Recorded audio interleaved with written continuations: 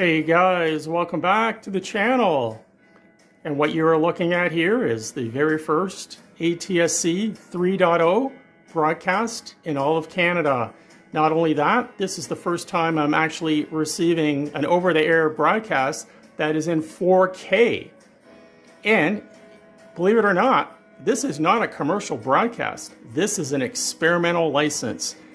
And it's being held uh, by Humber College who's operating an experimental transmitter right now, broadcasting this over the Toronto area.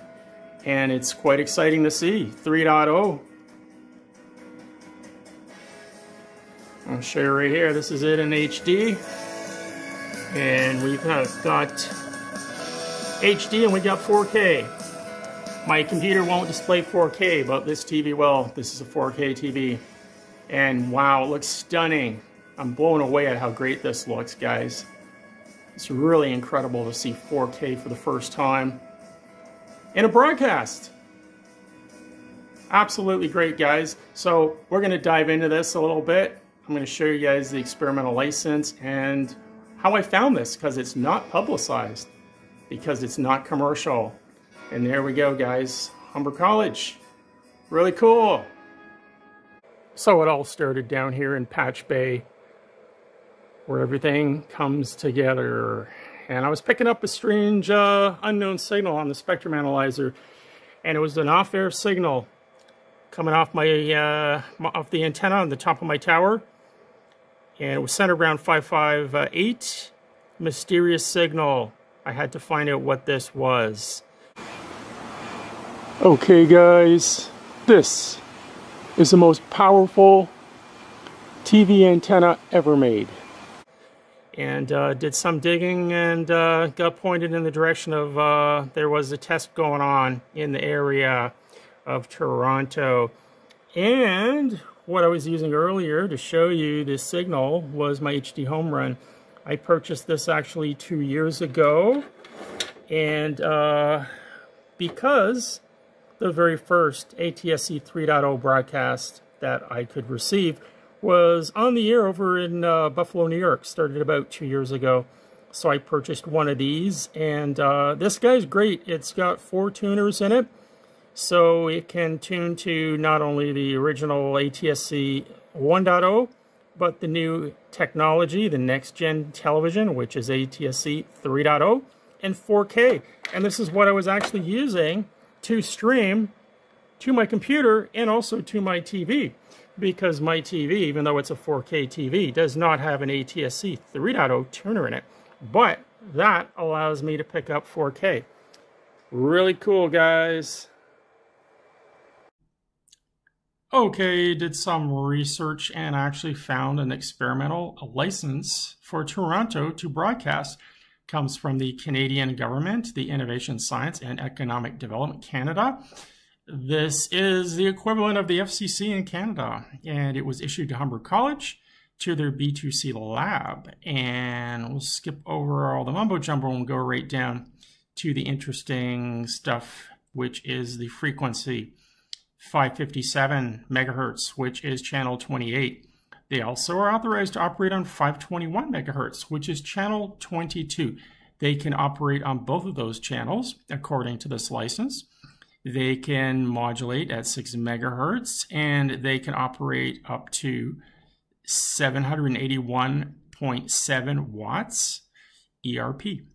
So that is interesting to see. They have two channels. Uh, channel 22 is also used by a pirate station in Toronto, so hopefully that won't be an issue, and maybe why they're not using channel 22. So let's move on. Uh, rabbit ears. Okay, this gets interesting because I do band scans for rabbit ears. And as you can see on RF channel 28, we are getting a very strong signal, but band scan does not log this channel. I wonder why. So I contacted the webmaster Mark over at uh, Rabbit Ears, and uh, he gave me this response, uh, which was interesting. He said there's no uh, identification information that the server can use.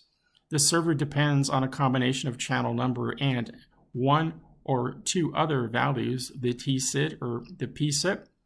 there's no TSID in the database for it. And I bet they're not broadcasting a valid TSID anyway, since it's experimental, which is true. They are not a commercial station. They are an experimental station. So they probably, and it's Canada. So different, uh, different regulations here. As for the PSIP, none of the streams are labeled VBA 257, which is what their license is. That's their license number or call sign. So their server can't associate it. And uh, he says there is maybe a walk around for it, but I don't think he's going to be bothered with that. Anyways, uh, there is an interesting video. I did uh, I did Google uh, VBA 257, and I found one other guy on YouTube that was inquisitive about this particular uh, signal. Across this ATSC 3.0 transmission, this is the weirdest thing. I have no idea where this is coming from.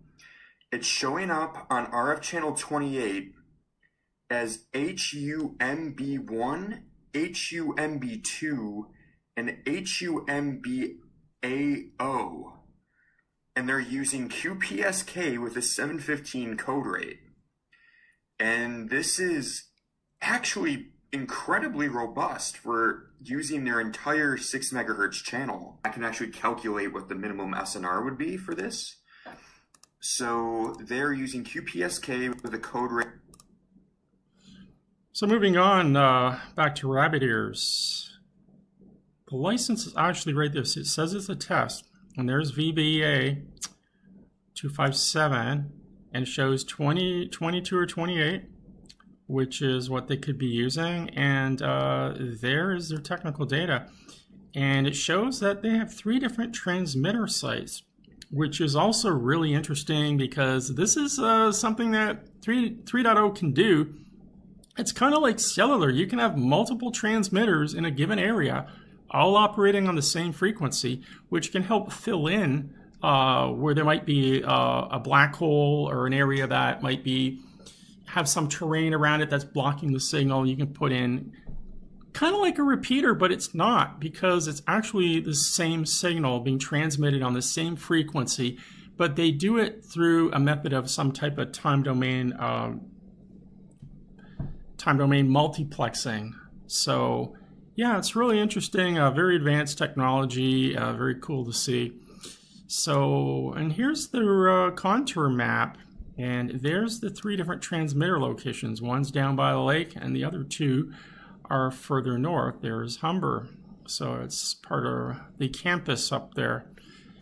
And uh, yeah, so let's go over and look at Humber's uh, actual website.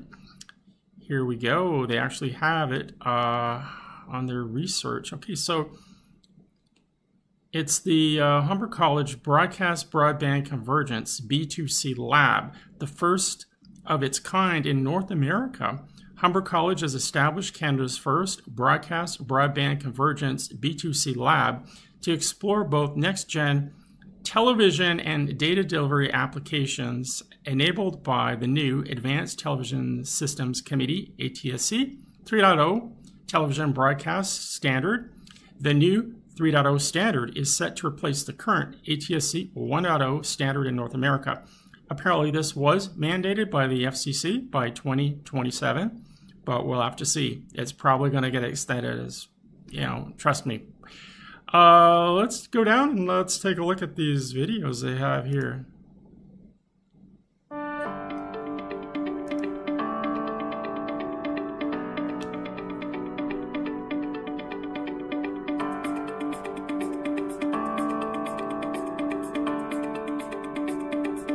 This is an opportunity for those of us who've been working on a new transmission standard for broadcasting to educate and to bring the findings of that new technology to Canada. Okay, this is quite interesting to me. The uh, type of antenna they're using here. This antenna is circular polarized. This is why it's mounted sideways on the. Uh, this antenna is designed actually uh, to be side mounted because is typically used for FM radio stations, and they will have a bank of them on the side of a tower stacked to uh, increase gain. So, okay, that's interesting to see that ATSC 3.0, or maybe this type of 3.0 that they're doing experimenting with, they've decided to go with the circular polarization. to Canada. This is a great opportunity here at Humber College to do exactly that.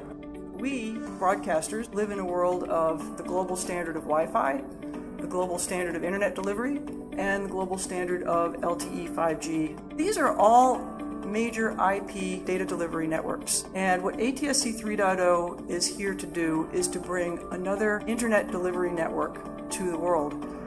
Cell phone progress from what? Let's go over and look at the other video here.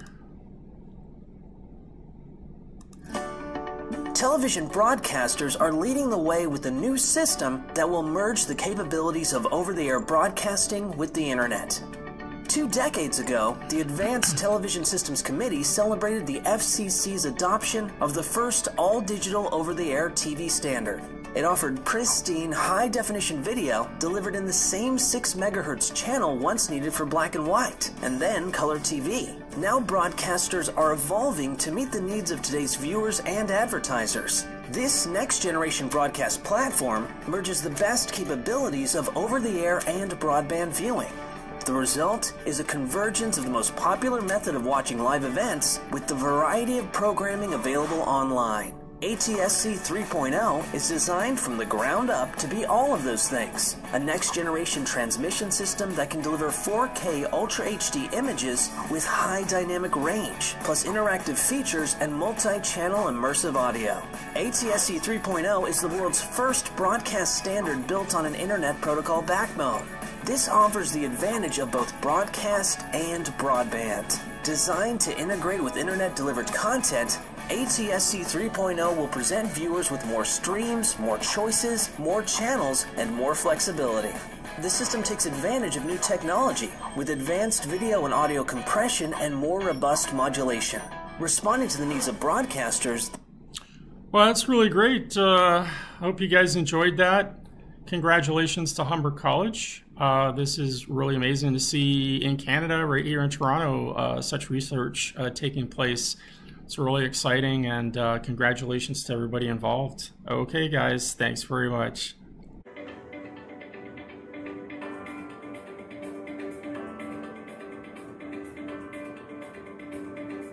This is an opportunity for those of us who've been working on a new transmission standard for broadcasting to educate and to bring the findings of that new technology to Canada. This is a great opportunity here at Humber College to do exactly that.